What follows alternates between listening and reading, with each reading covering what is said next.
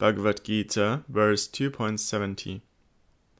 Just as countless rivers flow into the ocean, which is full and always still, without causing any disturbance to it.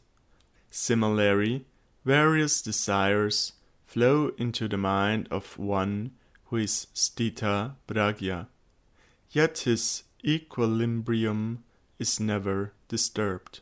Such persons alone can attain peace, not those who strive always to fulfill their desires.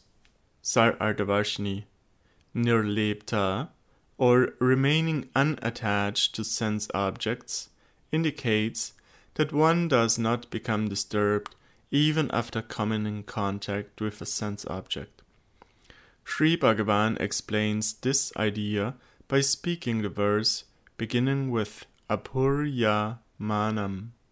Although different rivers pour such although different rivers pour so much water into the ocean during the rainy season, they cannot cause it to overflow.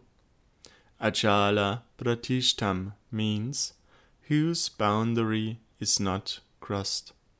Similarly, various sense objects also present themselves as enjoyable and desirable to one who is fixed in spiritual intelligence. But just as water pouring into or flowing out of the ocean makes no difference to the ocean, similarly, those who remain unaffected both while enjoying sense objects and when bereft of them are called sthita prajna. Only they attain peace. That is knowledge.